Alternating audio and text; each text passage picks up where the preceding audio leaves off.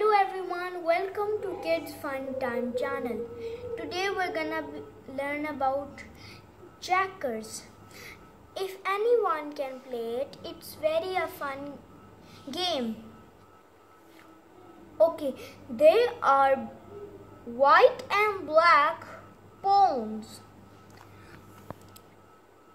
The white and black pawns can only move in a cross. Cool. There is a black pawn which can jump over the white pawn and take it away, like this. If the black pawn's pawn can ju- once the black pawn double jumps, it can take away two of the goatees. If the black pawn can also jump like this, and then the pawns can be take away.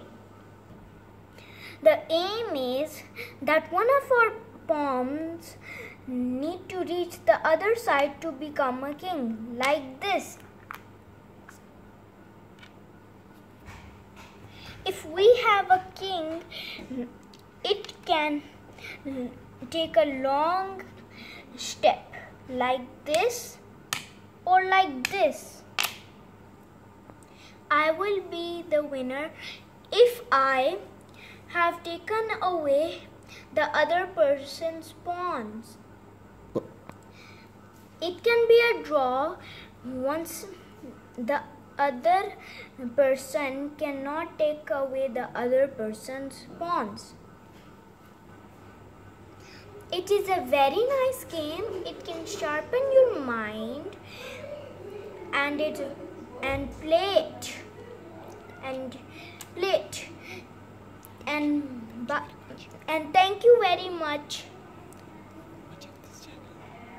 Enjoy this channel